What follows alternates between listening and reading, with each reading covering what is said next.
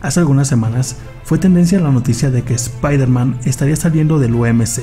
Esto por no llegar a un acuerdo entre Disney y Sony, por lo que ya no veríamos al trepamuros dentro del UMC.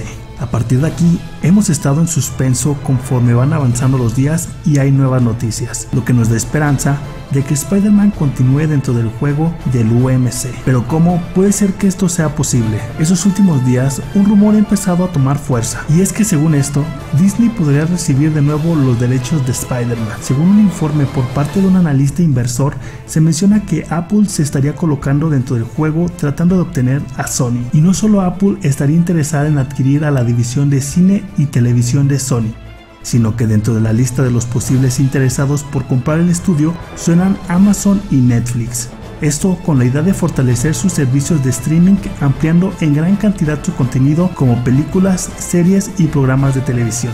Esto dejaría en claro por qué no hay prisa por parte de Disney por llegar a un acuerdo con Sony. Esto para retener a Spider-Man dentro del UMC, ya que dentro del contrato de 1997 hay una cláusula en donde se estipula que si Columbia Pictures es comprada por otra empresa diferente a Sony, los derechos del Tepamuros regresarían de vuelta a Marvel. Así que esto beneficiaría a Marvel ya que tendría de vuelta al arácnido y sin pagar ni un solo peso. Aún no sabemos si Marvel está contando con esta transacción, pero tal vez Marvel ya ve venir alguna oferta de Apple y si es así tendríamos de regreso a la araña y a todos sus personajes, aunque aún queda un contrato por una película más con el actor Tom Holland, así que podríamos esperar su estreno antes de que se confirme la compra de Sony, tal y como pasó con Fox y Disney. Este tipo de negocios tardan demasiado y sin duda podría llegar primero la película antes de la compra de Sony, así que por el momento solo nos queda esperar en qué termine esta historia. Comenten ustedes qué piensan de esto y si les gustaría ver de regreso a Peter Parker con todos sus personajes a la casa del ratón.